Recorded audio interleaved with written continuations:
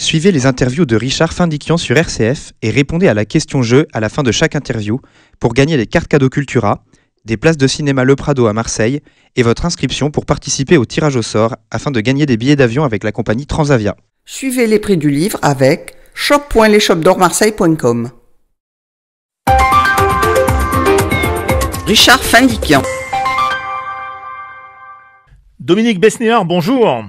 Bonjour. Producteur de cinéma et de télévision, notamment avec la série 10%, également acteur. Vous avez d'abord été directeur de casting avant d'être l'agent des stars au sein de l'agence Art Media. Vous restez l'un des plus grands agents artistiques français, citons simplement Jeanne Moreau, Nathalie Baye, Isabelle Adjani, Sophie Marceau, Marlène Jobert ou encore Béatrice Dalle. Vous publiez aujourd'hui le dictionnaire de ma vie avec Guillaume Evin aux éditions Kéro. Depuis la lettre A comme Angoulême, ville qui accueille le festival du film francophone que vous avez fondé, à la lettre Z comme zozotement, où vous soulignez que l'on vous présente comme celui qui zozote à l'oreille des stars, un livre dans lequel vous dévoilez généreusement vos sentiments et vos souvenirs, et où vous souhaitiez, Dominique Besnéard, exposer une facette plus personnelle de vous-même, avec le, désir de transmettre vos ressentis sur le monde actuel? Oui, exactement. Moi, j'avais fait, il y a quelques années, ben, j'avais fait une biographie, Casino d'hiver, qui parlait vraiment de mon trajet, de mon parcours depuis euh, mon, ma naissance presque jusqu'à jusqu'à 10%. Et là, mais en même temps, là, quand on est venu me le proposer, je me suis dit, mais pourquoi le faire? Il existe déjà, le livre. Euh, il y a cinq ans. Et en même temps, euh, en même temps, je me suis dit, euh, mais euh, j'ai pas envie, on n'est pas obligé de parler à, à Amour, B, et B. Besnéard. Donc, on, on, pouvait choisir un peu, un peu les terrains et, et les univers qu'on voulait. Et surtout, euh, j'ai donc j'avais dit pourquoi pas. Et entre-temps, j'ai eu un petit problème de santé, puisque j'ai eu un, Oui. un arrêt cardiaque qui a duré trois minutes en- le 18 décembre. Oui, on Et va en parler tout à l'heure, oui. Donc je me suis dit, ben, c'est peut-être le moment de d'expliquer un peu qui je suis. Puis les gens, de temps en temps, ils ont une, une image un peu stéréotypée en me disant, voilà, il est bling bling. Alors je suis le contraire de bling bling. Il aime les stars alors que j'aime beaucoup les seconds rôles et même les débutants et même surtout les metteurs en scène. Donc tout ça, c'est aussi à un moment donné des images qui me dépassent. Donc c'est pour ça que j'ai accepté de faire ce livre. Alors c'est un livre qui nous plonge dans votre passé avec une grande nostalgie. Vous dites que vous êtes un adepte du c'était mieux avant et que vous êtes heureux de ne plus être agent aujourd'hui. Autrefois, dites-vous, quand on avait un souci avec un acteur que l'on représentait, on en discutait en adulte, on cherchait des solutions. Aujourd'hui, au moindre couac, ils partent. Les acteurs ne sont plus aussi fidèles. Certains ne pensent, dites-vous, que rentabilité, visibilité, estimation. Exactement, vous avez tout dit, donc je ne sais pas ce que je peux dire de plus. Non, ce que je trouve un peu inquiétant, c'est que maintenant, bah, ça correspond à, à notre univers, qui va à notre monde, qui va trop vite. On n'a pas le temps de, de se, de se, de- d'attendre un peu, de réfléchir, de se dire oui, euh, ça se passe pas très bien entre mon agent et moi, mais est-ce que je devrais pas un peu réfléchir, en discuter? Moi, vous savez, à l'époque, il y avait ce que j'appelle le rendez-vous du l'IPCA, où j'étais euh, ah, j'étais l'agent de Nathalie Baye à un moment donné. Nathalie Baye a considéré que, bah, je sais pas, j'avais fait peut-être une ou deux, trois erreurs et elle voulait m'en parler. Alors que je partais passer en, des vacances avec elle, qu'elle m'en avait jamais parlé. Donc quand elle m'a dit est-ce qu'on peut se voir au Lutetia, parce qu'elle habitait à côté, et là elle m'a dit ben voilà, je, trouve qu'il y a ça, c'est pas bien et tout ça. Mais elle m'a pas dit euh, tout de suite, euh, ça y est, je te quitte, je vais voir ailleurs. Parce qu'elle savait très bien tout ce que j'avais fait. Et peut-être que c'est bien de temps en temps que on se fasse aussi euh, euh, recadrer, mais ça ne veut pas dire abandonner. Et maintenant, je trouve que les acteurs n'ont plus aucune patience. Ils veulent que ça vienne, que ça vienne, que ça vienne, mais c'est pas si simple que ça. Alors quel est le, le mot de votre dictionnaire qui résumerait le mieux votre parcours professionnel dans l'industrie du, du cinéma? Ben, euh, vedette. Parce que je n'aime pas le mot star. Moi, j'aime bien les vedettes. Parce que les vedettes, vous me parliez de nostalgie.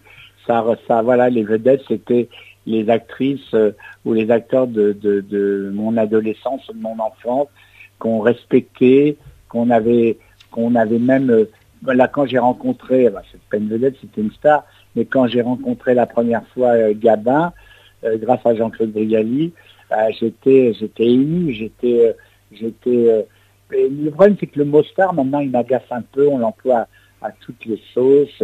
On est star, on est star de rien. On est d'abord euh, acteur et on est vedette. Et le mot star, il y en a quelques-unes. Et du reste, j'en parle, c'est Jeanne Moreau, Marlène Dietrich, mais il y en a très peu. Et maintenant, c'est banalisé, mais banalisé. Moi, je n'aime pas qu'on banalise notre époque. Euh, l'époque, elle est banalisée. Voilà, tout est, on n'a de respect de rien. Mais là, je parle comme un vieux con, comme disent mes, assistants autour de moi, ou les équipes d'Angoulême, ils me disent, mais on a l'impression que tu es un grand-père, mais je, je, je veux être, euh, je ne suis pas grand-père, mais dans ma tête, j'ai pas l'âge d'un grand-père. Mais à un moment donné, les valeurs, c'est quand même très important. Et je remercie toujours mes parents de nous avoir, euh, euh, de nous avoir récompensés sans nous gaver. Alors, vous dites aussi, l'une de mes plus grandes fiertés, c'est d'avoir très peu trahi. J'ai toujours essayé d'être courageux dans un métier qui parfois appelle la lâcheté. J'ai certes fait de petits mensonges, mais uniquement pour ne pas blesser, pour protéger. Agent artistique, alors c'est un métier qui demande aussi de, de savoir annoncer les choses, euh, on dira, avec tact Oui, bien sûr. Bah, C'est-à-dire que sinon, vous savez, j'étais 22 ans agent, il y a deux personnes qui m'ont quitté. Hein. sur le nombre que j'avais et parce que j'étais là très maladroit, voilà. J'ai quand même, j'ai pu être maladroit et, souvent même. Mais pour vous dire que c'est important de parler, c'est important de discuter, c'est important de, de se dire, euh, voilà, comment on peut améliorer les rapports, comment on peut faire qu'à un moment donné, les, les, les, les gens euh, vont mieux te regarder. En même temps, c'est très difficile maintenant pour un jeune comédien parce qu'il y en a, ça pullule, il y a trop, trop, trop de jeunes qui veulent être comédiens. Quand on va dans les cours, il y a un cours, il y a 1000 élèves. Je ne citerai pas le nom du cours, mais c'est inadmissible comment on peut être, euh, avoir un cours, il y a 1000 élèves. Alors, parce que tout d'un coup, on pense que comme le, le nom est connu, c'est bien. Moi, je préfère envoyer un jeune comédien dans un cours où il y a 50 élèves. Parce que comment voulez-vous être remarqué, comment voulez-vous déjà travailler? Donc euh, voilà, tout est rapide, tout est euh, parce qu'aussi c'est le monde qui est rapide. Tous les jours, il y a, il y a un fait divers qui, qui tout d'un coup prend le prend l'ascendant sur tous les autres faits divers, on parle que de ça, alors qu'on a certainement des choses plus graves autour.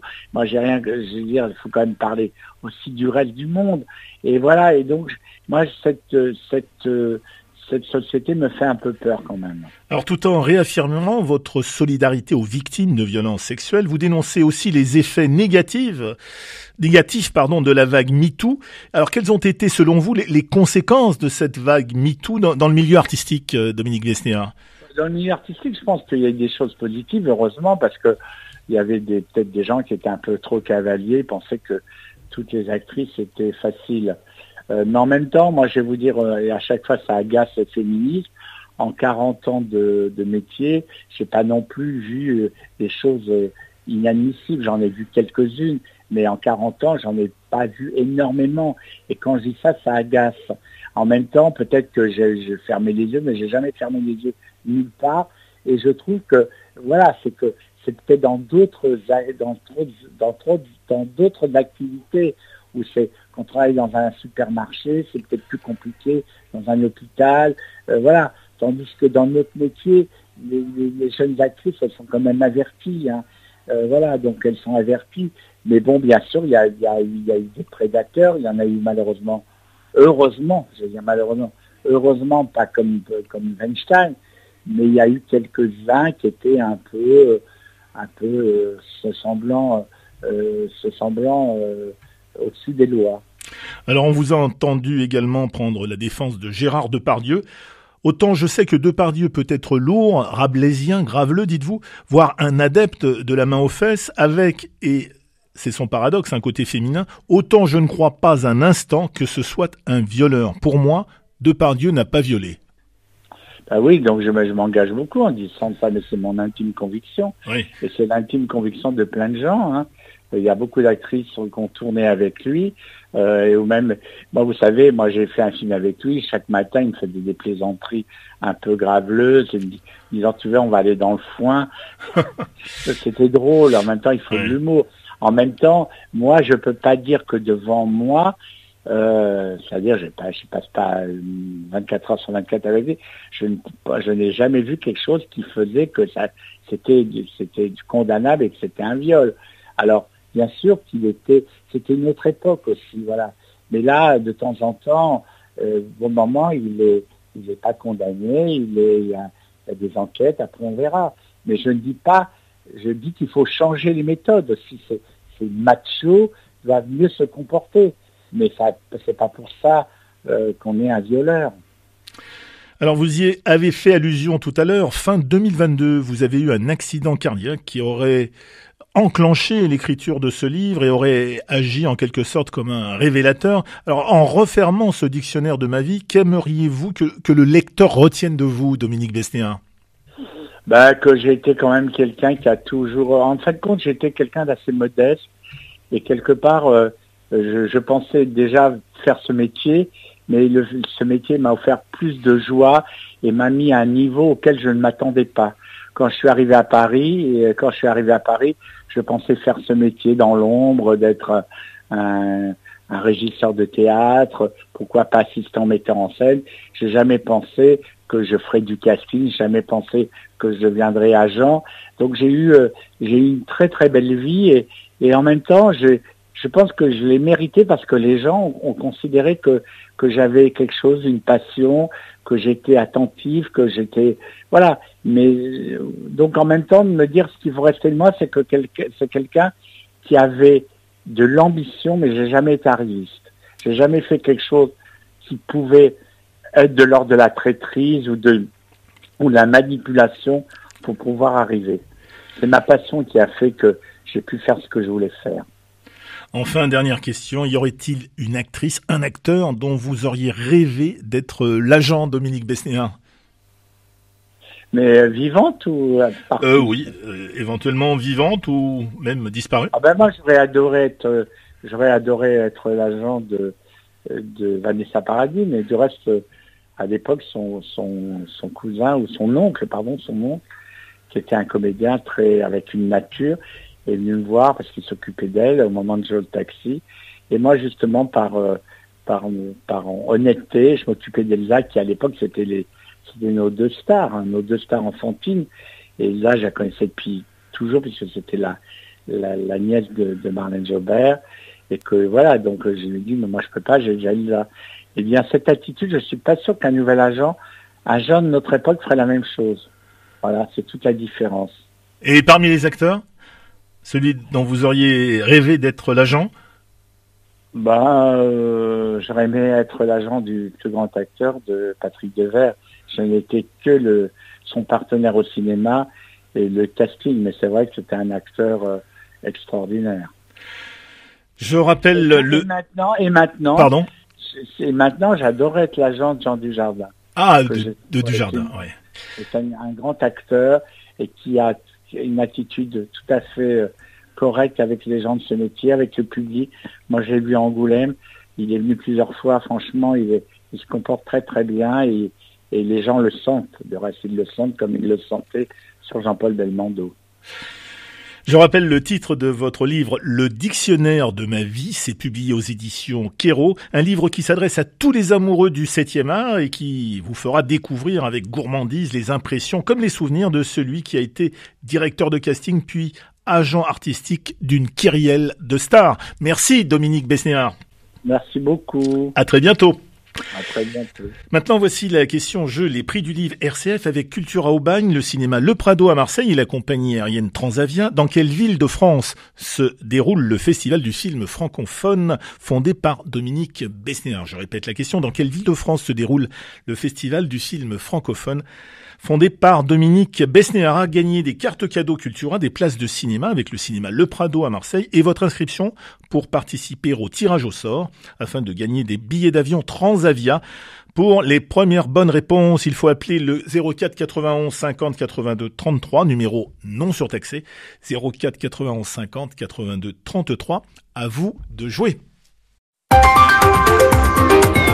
Richard Findiquian Suivez les prix du livre avec shop.leshopdormarseille.com.